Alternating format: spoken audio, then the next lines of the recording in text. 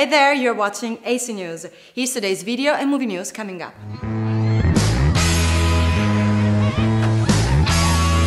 Jane, Janie, it's, it's the way that you. So what's her name? Jane, So this girl she doesn't like you back? she likes me platonically as a friend. Oh, I know what platonically means. I'm a junior, not a moron. Dave's amazing. You know, he's always been there for me through all my terrible relationships. Let me tell you guys something, because you haven't really been out in the world yet. But when you get to my age, you realize that nobody cares about anything except making money. Whoever said you should always be yourself obviously never met Ronnie. Ronnie seems like a cool guy. Does he? No. Uh, I will not. I mean, I can't tell yet.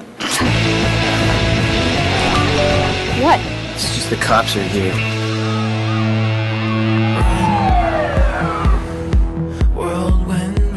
Sex yet? Honestly, No, lie to me. not yet. Have you done it yet? None of your business. Maybe we could lie here for a minute. Honey, wake up. It's almost 11. I'll be on in a minute. What now? Jump.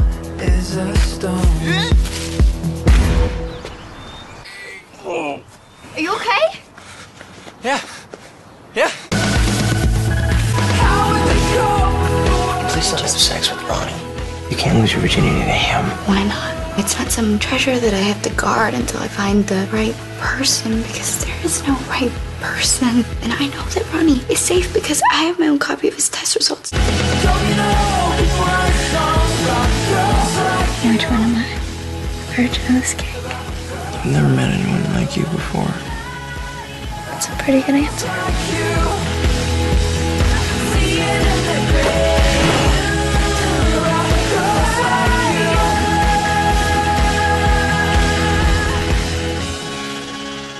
Return to Class of Nuke 'Em High is the franchise of the popular 18th horror comedy. The Troma team is uh, back with a unique and personal point of view. This movie allows satirical sci-fi comedy to brush in with various themes. Idealistic students are concerned from overwhelming bullying and love triumphing as usual.